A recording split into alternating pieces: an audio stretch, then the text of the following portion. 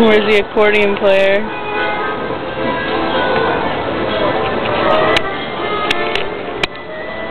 Every accordion player plays that song.